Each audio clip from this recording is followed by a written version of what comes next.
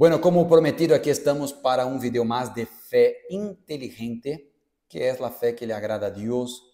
Y estamos en este propósito de 21 días. Y hoy quiero traerles aquí algo de fe inteligente para su vida.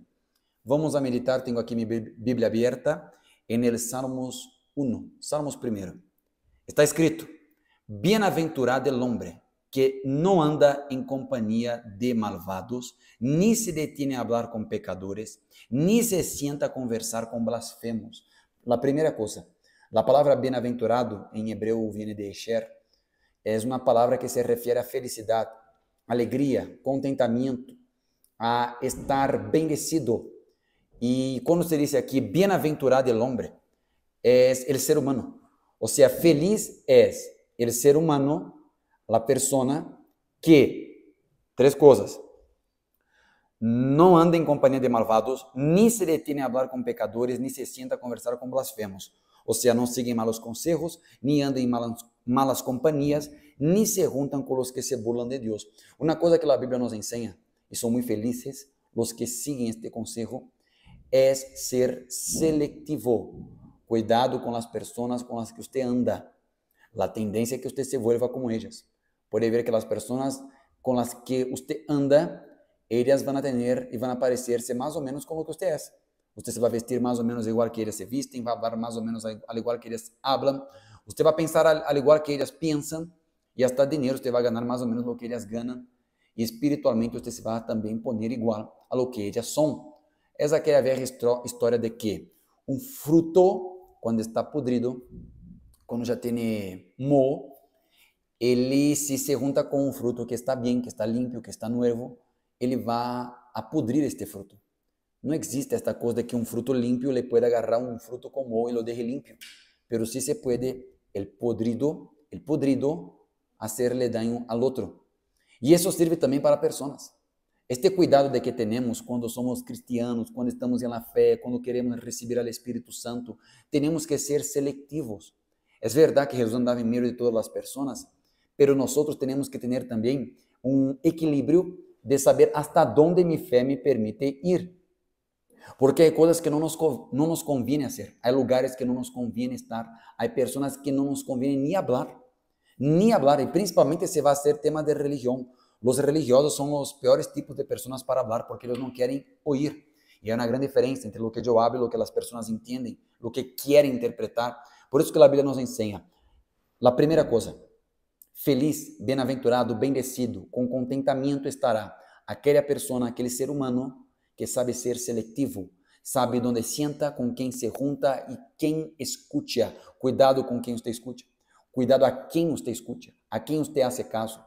E isso serve para todo tipo de pessoa, principalmente para sua vida espiritual. Então, você tem que ser uma pessoa seletiva. Você nunca vai ver um águila andando com gadinas. Você nunca vai ver um leão juntando-se com perros porque não é da mesma raça, não é da mesma natureza. Então, cuidado, porque se você quer conhecer uma pessoa, mira a las pessoas com as que ele se junta. Veja com quem ele anda, veja quem ele escuta, porque seguramente isso vai revelar mais sobre ele de lo que ele mesmo disse sobre si. Versículo 2, Salmos 1. Dice outra coisa, que por el contrário, ao invés de juntar-se com qualquer, se deleita em la lei del Senhor y día y noche medita en ella. Es decir, Dios bendice a quienes aman su palabra. Y día y noche, día y noche, día y noche, meditan, meditan en esta palabra. Ustedes saben que Josué fue el mayor conquistador que hubo en la historia de la Biblia. Y una cosa le dijo Dios a Josué. No le dijo ore y ayune, porque esas cosas quizás él ya los hacía, pero él le dijo medita día y noche y no te apartes desta palavra, que não apartes de tu boca esta palavra, sino que medites em ella dia e noite. Você não pode, por exemplo, depender de que alguém leia a Bíblia para você, ou de que solamente quando você vai à igreja que alguém leia a Bíblia. Você tem que todos os dias, dia, noite, tarde, agarrar sua Bíblia, você tem um celular, ponga, haga um voto com Deus, haga um adino de TikTok, de Instagram, haga um adino de Facebook, haga um adino, um voto com Deus de que todos os dias, antes de acceder, entrar em qualquer aplicação a la que yo tenga en mi celular, yo voy antes leer un versículo de la Biblia. Yo voy antes meditar en algo de la de Dios. Haga este voto a Dios. Isso le va a servir muchísimo. La primera cosa es ser selectivo. Com quem me voy a juntar, a quem voy a escuchar e com quem me voy a sentar, a que lugares eu voy a asistir. este, yo hablaba a las personas que un hombre agarró un bebé recién nacido, hizo un experimento, no me acuerdo ahora el doctor, es una historia real, y en este experimento él agarró este bebé y no lo dejó en contacto con seres humanos, sino que lo crió como un mono. Este bebé se volvió como un mono, porque el ser humano, ele se vuelve igual a las personas con las que convive. Cualquier bebé que usted agarra y pone en cualquier lugar del país, en un país de habla de español, le va a hablar español. Usted lo pone en un país de habla de portugués, va a hablar portugués, inglés, porque el bebé, el ser humano, agarra a lo demás. Diferente de una tortuga que cuando nace en la playa va corriendo hacia el mar. De un pájaro que no, no hay necesidad de enseñarle a volar, porque ele, é sua natureza. El ser humano, ele depende do lugar e de las pessoas com as que convive. Por isso que é necessário você estar na igreja. Não solamente estar aqui por internet. A mim me encantaria verle a você aqui, onde estou ahorita, em Calçada Tenórios 36, esquina com a Calçada do Hueso, en estos próximos dias, principalmente el domingo a las 10 de la mañana. Pero aqui Deus em seguida disse que aquele que se deleita, aquele que disfruta, aquele que tem prazer, que ama a palavra de Deus, esta pessoa, a ella le irá. Porque a palavra de Deus há que meditar em ella todos os dias. Empiece por ler Mateus, Marcos, Lucas, Juan, o Evangelho. Empiece por ler os Salmos, Provérbios, ou livros que você, você queira ler. Ore antes de ler. Pida a Deus que le hable. E todos os dias consulta a palavra de Deus. A Bíblia não é um livro que se lê como os demais livros. A Bíblia é um livro em onde se medita, em onde se reflexiona, em onde, em onde eu conozco, não somente conozco mais de Deus, sino que conozco também mais de mim. Porque a Bíblia me mostra e me examina, ele me analisa. Não sou eu que estudo a Bíblia, sino que a Bíblia me estuda também. Por isso que você tem que meditar na Bíblia todos os dias. Pode ser no transporte, pode ser no trabalho, pode ser em qualquer momento. Medite na Bíblia todos os dias. E terceira coisa, versículo 3, Salmos 1. São como árvores. Quem são como árvores? Esse homem, esse ser humano, que é seletivo com suas amistades e que medita na palavra de Deus todos os dias, esse homem é como um árbol plantado junto a los arroyos, chegado o momento da seu fruto, e suas hojas não se marchitam, em todo lo que hace prospera.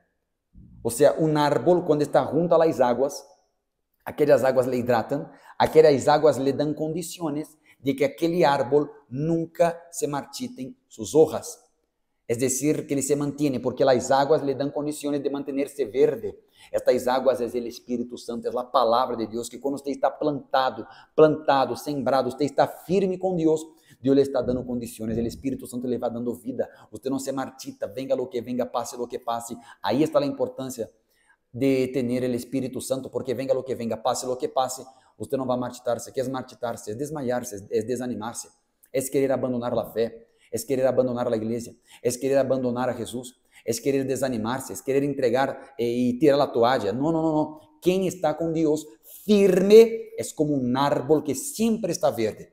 Ou seja, as demais coisas de afuera não cambiam, não afetam as raízes de adentro. Deus quer que seamos como este árbol.